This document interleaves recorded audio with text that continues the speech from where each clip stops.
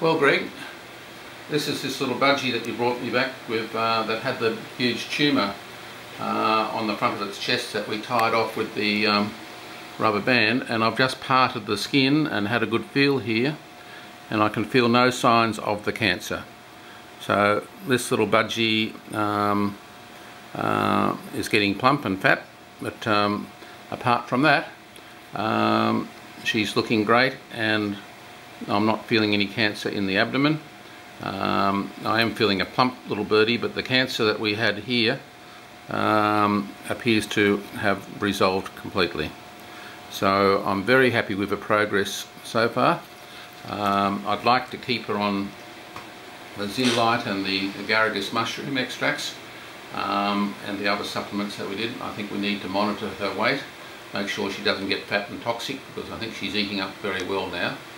Um, and I am absolutely delighted that she's made such a recovery because I thought she was I thought she would have um, died by now if um, if surgery hadn't been done.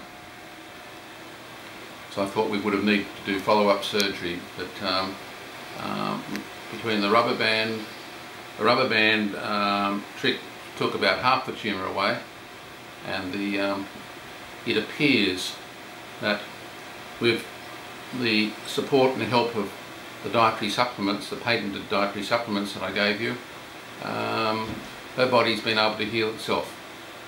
Uh, I am delighted. Thank you, Greg. Excellent. Thank you, Ross.